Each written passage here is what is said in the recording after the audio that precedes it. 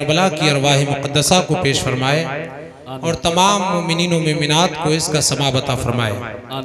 हजरात अव्वल शब से आप हजरात बहुत अच्छी अच्छी नातें और तकरीरें समात कर रहे हैं।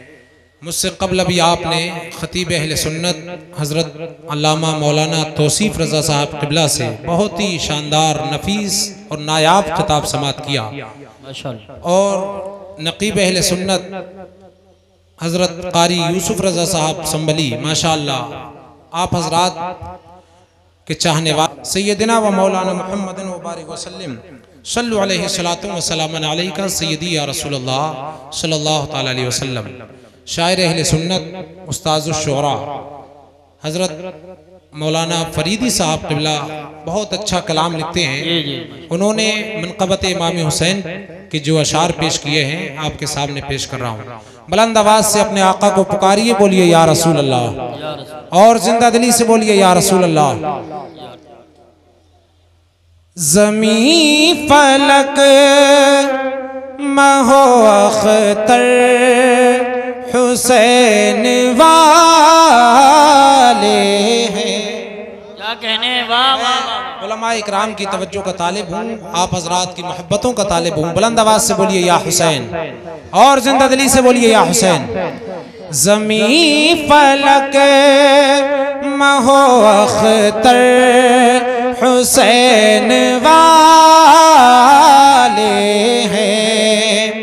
जमी फलक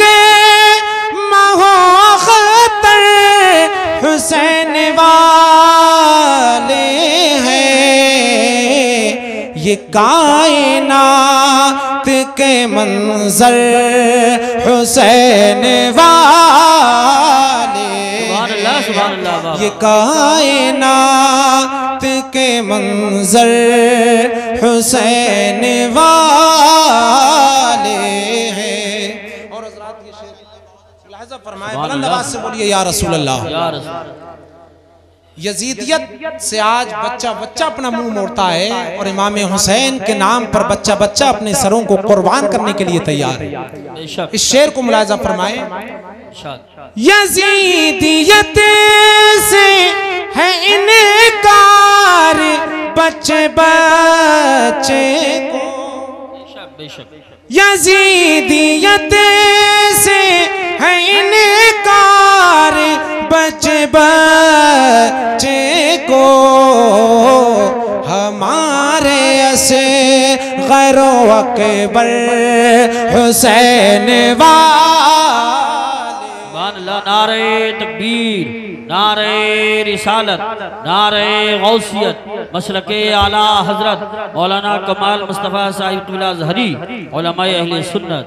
हमारे ऐसे गैरों अकबर हुसैन वाले हैं। और आज़ाद ये भी शेर खूबसूरत है। बुलंद आवाज़ से बोलिए या रसूल अल्लाह हम करबला के मैदान से ये सबक ले चुके हैं कि कयामत तक जो मुसलमान पैदा होंगे नामूस रिसालत पर तहफ़ुज़े नामूस रिसालत पर सर तो कटा सकते हैं लेकिन बातिल के हाथ में हाथ नहीं दे सकते। ये शेर मुलाजा फरमाए। कटा तो सकते हैं लेकिन झुका नहीं सकते। कटा तो सकते हैं, लेकिन झुका नहीं सकते। हमारे हमारे हमारे हौसला परवर हुसैन वाले। बेशक हमारे हौसला परवर हुसैन वाले हैं। कटा तो सके झुका नहीं सकते। हमारे जिसे मुँह पे ये सर हुसैन वाले और आज़ाद ये शेर भी मुलाजा फरमाए। इमाम अली मकाम के नाना जान जिनका कब्जा आब कौसर पर है सुबहान अल्लाह राह फुरात की ये शान कहाँ जो शान आब कौसर की है मेरे इमाम हुसैन के नाम पर जिन्होंने अपनी गर्दनों को कुर्बान किया जो उनकी मोहब्बत में जी रहे हैं उनका मर्तबा क्या होगा मुलाजा करें। हुसैनियों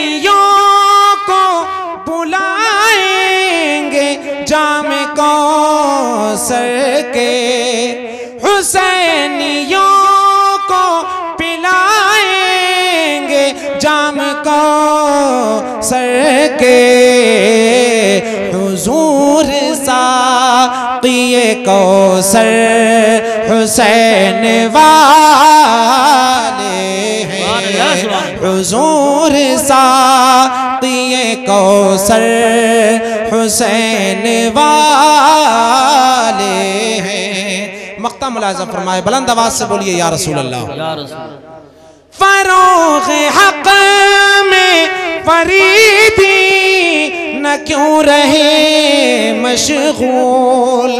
फरोग हक में फरीदी न क्यों रहे मशगूल? जबानो फ़िक्र के जौहर हुसैन वाले हैं। ये कायनात के मंजर हुसैन वाले हैं। सुभान पाक पढ़िए अल्लाहुम्मा सल्ली अला अल्लाहुम्मा सल्ली अला सय्यिदना व मौलाना मुहम्मद व बारिक वसल्लम सल्लु अलैहि अहलल बैत। सुभान अल्लाह ए नबी के घर वालों अल्लाह पाक ये इरादा फरमाता है कि तुमसे नापाकी को दूर फरमाए। वयुताहिरकुम ततहीरा। और तुम्हें खूब पाक साफ़ और सुथरा फरमा दे। हजरात मोहतरम इस आयत मुकद्दसा में अल्लाह पाक ने अहले बैत अथार की शान को बयान फरमाया। इरशाद फरमाता है परवरदिगार आलम कि बेशक अल्लाह पाक ये इरादा फरमाता है कि ए नबी के घर वालों अब नबी के घर वाले कौन है? तो इस आयत के शान नजूल में उम्महातुल मोमिनीन को भी शामिल किया गया। हमारे नज़दीक नबी के घर वाले अहले बैत अथार में खुद हुजूर के नवासे भी हैं हुजूर की फातिमा बेटी भी हैं हुजूर के दामाद हज़रत अली भी हैं और और भी उम्महातुल मोमिनीन अहले बैत अथार में शामिल हैं। मोहतरम अब अल्लाह पाक ने इरशाद फरमाया ये नबी के घर वालों अल्लाह पाक ये इरादा फरमाता है कि तुमसे नापाकी को दूर फरमा दे। और तुम्हें खूब पाक और साफ़ सुथरा फरमा दे सुबह अल्लाह अब मैं आपकी तवज्जो चाहूँगा। ये लोगो आप ये बताइए कि पाक किस चीज़ को किया जाता है? पाक उस चीज़ को किया जाता है जो पहले से नापाक हो कपड़े को पाक तब किया जाएगा। जब ये पहले से ना पाक हो, तब पाक किया जाएगा। यहाँ अल्लाह पाक ने ये इरशाद फरमाया कि वो अहले बैत को पाक करना चाहता है तो बदअकीदा ये एतराज़ कर सकता है। इसका मतलब तो ये हुआ कि नबी के घर वाले माज अल्लाह का पहले से पाक नहीं थे। ये कह सकता है ए लोगों लेकिन तवज्जो से सुनिए बेशक अल्लाह पाक ने इस आयत में नबी के घर वालों की पाकी को बयान फरमाया।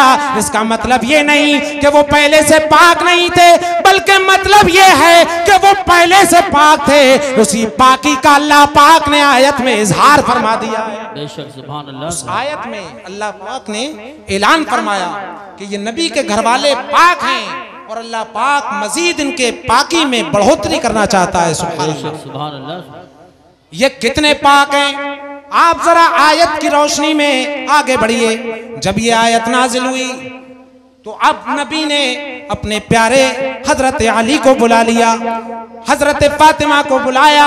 ए लोगों, इसका मतलब ये हुआ कि नबी के घर वाले नापाक नहीं है माज अल्लाह वो तो पाक हैं। अब आइए कैसे पाक हैं? जरा तवज्जो के साथ में सुनिए। सबसे पहले आइए, हज़रत अली रज़ी अल्लाह अन्हु, कैसे पाक हैं? हुजूर ने इरशाद फरमाया कायनात में किसी को भी मस्जिद में नापाकी की हालत में जाने की इजाज़त नहीं। हालत जनाबत में कोई भी मस्जिद में नहीं जा सकता सिवाय मेरे और अली के कि अली भी हालत जनाबत में मस्जिद में जा सकते हैं। क्या मतलब? कि अल्लाह पाक ने उनकी पाकी को बयान फरमाया। इतने पाक हैं कि अल्लाह पाक ने हज़रत अली के लिए भी पाकी की आयत में उनका भी शुमार फरमा दिया सुबह अल्लाह हज़रत अली भी पाक हैं। अब और देखिए, अब आइए हज़रत फातिमा रज़ी अल्लाह अन्हु, कितनी पा, अनहा कितनी पाक हैं।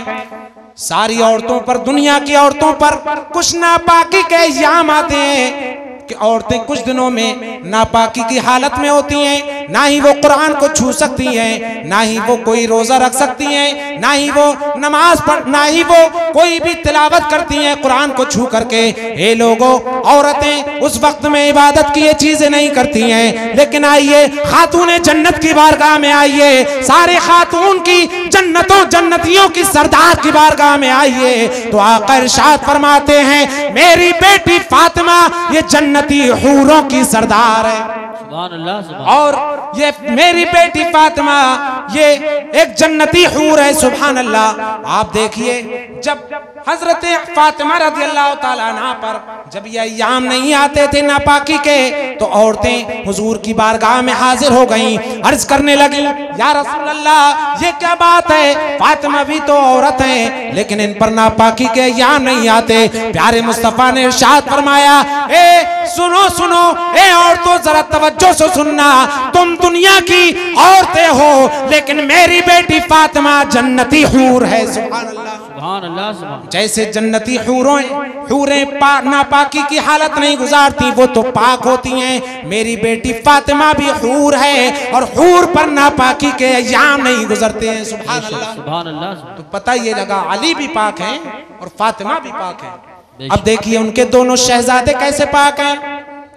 प्यारे मुस्तफ़ा, सजदे की हालत में जाते, इमाम हुसैन सजदे की हालत में पीठ पर सवार हो रहे हैं, मुस्तफ़ा गलियों में निकल रहे हैं, हज़रत हसनैन करीमैन को अपने कांधे पर सवार कर रहे हैं। पता ये लगा कि अगर कोई नापाकी का शायबा होता तो मुस्तफ़ा अपने कांधों पर उन्हें सवार बेशक लोगों पता ये लगा अली भी पाक हैं फातिमा भी पाक हैं हसन भी पाक हैं हुसैन भी पाक हैं सुभान अल्लाह जब ये आयत नाजिल हुई तो अल्लाह पाक के हबीब प्यारे मुस्तफ़ा ने इरशाद फरमाया हदीस पाक के अल्फाज हैं ता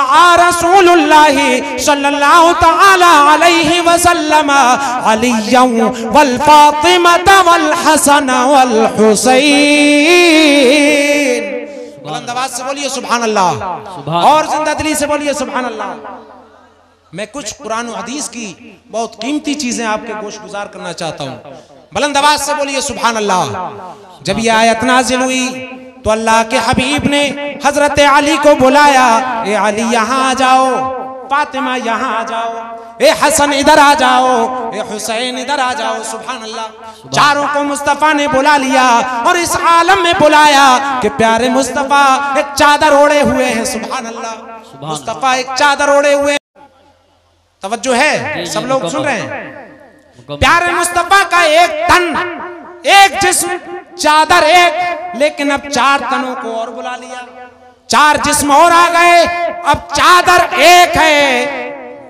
चादर एक है और तन पाँच है। इसी को फारसी में कहते हैं पंज तन पाक। इसी को फारसी में पंज को पाँच को पंज कहते हैं और जिस्म को तन कहते हैं। जब मुस्तफ़ा ने एक चादर के नीचे चारों को बुला लिया तो अब प्यारे मुस्तफ़ा के बुलाने से पाँच तन एक चादर के नीचे जमा हो गए। इसीलिए पंज तन पाक से बैत को याद किया जाता है।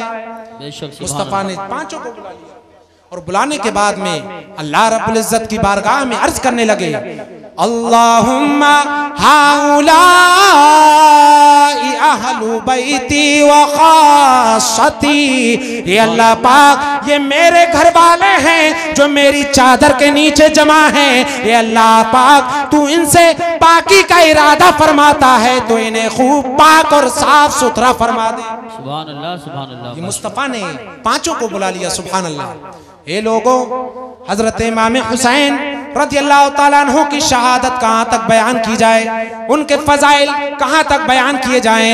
ये लोगों, आप जानते हैं दुनिया के अंदर जब किसी इंसान को बुलाया जाता है तो ये कहा जाता है हे फुला शख्स इधर आ जा हे अब्दुल्ला यहाँ आ जा हे जीशान यहाँ आ जा हे लोगों पता ये लगा कि इंसान का जो नाम रखा जाता है उसकी शख्सियत को मुखातब करने के लिए उसकी जात को बुलाने के लिए रखा जाता है। अगर नाम अच्छा है तो उसका असर जात पर भी पड़ता है। बेशक। कि अच्छे नाम रखो कि नाम का असर बंदे की जात पर पड़ता है। ए लोगों मैं आपकी तवज्जो चाहूँगा।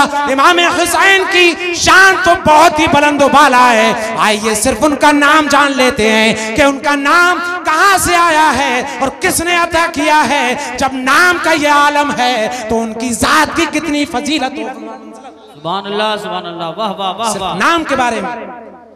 अब आइए हज़रत इमाम जलालुद्दीन सुयूती ने तारीखुल खुलफा में बयान फरमाया। इब्ने असीर ने उसूदुल खाबा में बयान फरमाया, इरशाद फरमाते हैं, इन्नल हसना वल हुसैना इस्मान मिन अस्माइल जन्ना, वला तुस, वलम तुसम, वला, वलम तुसम्मिल अरब बिहिमा फिल जाहिलिया। एक रिवायत में फरमाया, वलम तुसम्मिल अरब अस, अस्मा औलादिहा इरशाद फरमाया कि ये जन्नती ये जो हसन और हुसैन है इनके जो नाम है हसन हुसैन ये दुनिया के नाम नहीं है बल्कि अल्लाह पाक ने ये नाम जन्नत से अता फरमाए। जन्नत से भेजे गए। आप लोग अब थोड़ा सा तवज्जो के साथ में चहल कदमी कम हो जाए तो बहुत बेहतर रहेगा। मैं चाह रहा हूँ कि तवज्जो के साथ आप लोग सुने और कुछ ज़रूरी चीज़ें मैं आपको सुनाऊं। जी जी। ये नाम जन्नती नाम है। अब आप सोचेंगे कि जन्नत में जो चीज़ होती है वो नाजिल की गई तो पहले जैसे मन्नो सलवा ये उतारा गया तो जन्नतियों में था बाद में नीचे उतार दिया गया। बहुत सारी चीज़ें जो पहले जन्नत में थी नीचे उतार दी गई। तो ये हसन और हुसैन के नाम जन्नती नाम है तो ये जहन में आ सकता है हो सकता है। जन्नत में किसी गुलाम का नाम हसन हुसैन रहा हो ये जहन में बात आ सकती है, लेकिन मुहद्दिसीन ने इस बात की भी सराहत फरमा दी और इरशाद फरमाया कि ये जो नाम हसन हुसैन है, जब तक जन्नत में थे, तब भी किसी के नाम न थे। इसलिए कि इन नामों को अल्लाह पाक ने अपने हिजाब अकदस में छुपा करके रखा था। नबी के नवासों के नाम हिजाब अकदस में छुपे हुए थे। यहाँ तक के हसन हुसैन पैदा हो गए तो अल्लाह पाक ने हज़रत जबरील को हुक्म दिया, ए जिब्रील, जाओ जाओ, मेरे मेरे प्यारे मुस्तफ़ा के पास में चले जाओ और जाकर के कहना, अल्लाह पाक इन नामों को बदलना चाहता है। हज़रत अली ने जो नाम रखे थे, प्यारे मुस्तफ़ा से जाकर के कहना, अल्लाह पाक इन नामों को बदलना चाहता है। जबरील बारगाह रिसालत में हाजिर हो गए, अर्ज़ करने लगे, या रसूल अल्लाह अल्लाह पाक ये चाहता है कि आपके नवासों के नाम बदल करके हसन हुसैन रख दिए जाएँ।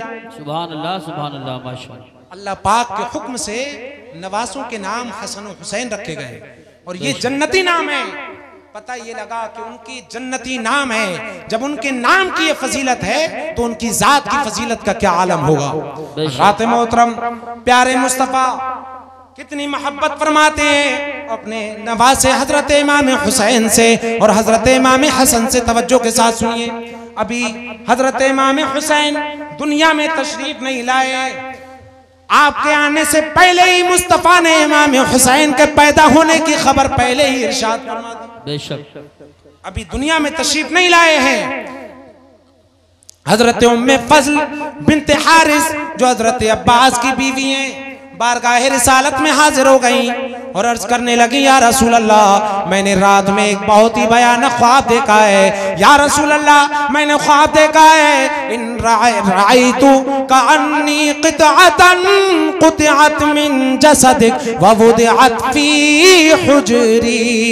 प्यारे मुस्तफ़ा, मैंने रात बहुत ही भयानक ख्वाब देखा है। फरमाने लगे, मुस्तफ़ा, ए उम्मे फजल बयान करो। वो कैसा ख्वाब है जो तुमने भयानक देखा है? कहने लगी, या रसूल अल्लाह मेरी जबान में ये ताकत नहीं कि आपकी बारगाह में उस भयानक ख्वाब को बयान कर सकूँ। या रसूल अल्लाह वो ख्वाब बहुत ही सख्त है। मेरे प्यारे मुस्तफ़ा ने इरशाद फरमाया, ए उम्मे फजल, बयान तो करो, वो ख्वाब कैसा है? कहने लगी, या रसूल अल्लाह मैंने ख्वाब में देखा है कि रात में, मैंने ख्वाब में देखा कि गोया आपके जिसमें अख्तर अकदस से एक टुकड़ा काट लिया गया।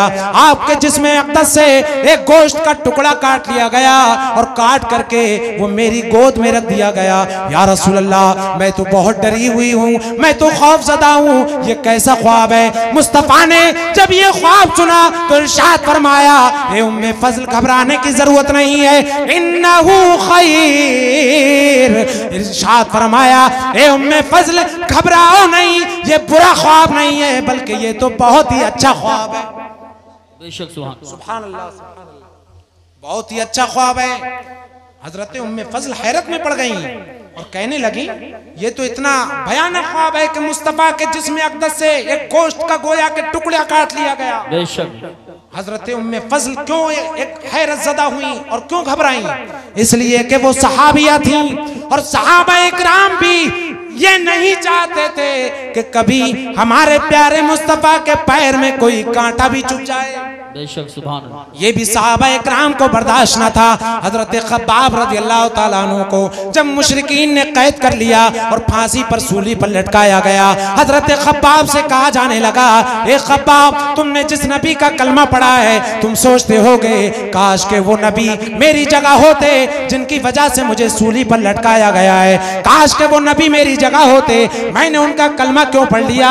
हज़रत खबाब ने जब मुशरिकों की ये बोली को सुना तो कहने लगे ए यस ए लोगो, सुनो सुनो ए ना बकारो सुनो सुनो, तुम ये कहते हो कि वो मेरी जगह होते? अरे ये मेरी एक जान क्या है? अगर ये हज़ारों जाने भी मुझे मिल जाए तो मैं सारी जानों को नबी के कदमों पे कुर्बान कर अल्लाह, नारे तकबीर। नारे रिसालत, नारे गौसियत मशरक आला हज़रत, फैज़ान आला हज़रत, मौलाना कमाल मुस्तफ़ा साहिब हरी हज़रत खब्बाब फरमाते हैं, एक जान क्या है? मुझे अगर और जाने मिल जाए तो सारी सरकार के कदमों पे निसार कर दूँ। हजूर आला हज़रत ने जब बरेली की सरजमीन से इस वाक़े को पढ़ा और दूसरी आदीस की मंजर कशी अपने शेर में कर दी और इरशाद फरमाते हैं, करूँ तेरे नाम पे जाफिदा। न बस एक जा तो जहाँ फिदा। वाह वाह वाह। करूँ तेरे नाम पे जा फिदा।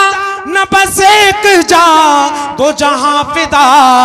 दो जहाँ से भी नहीं जी भरा। करूँ क्या करोड़ों जहाँ आला हज़रत कहते हैं बार बार जानों को करोड़ों जानों को कुर्बान किया जाए तब भी नबी की मोहब्बत का हक अदा नहीं किया जा सकता। हज़रत खब्बाब ने ये जवाब दे दिया।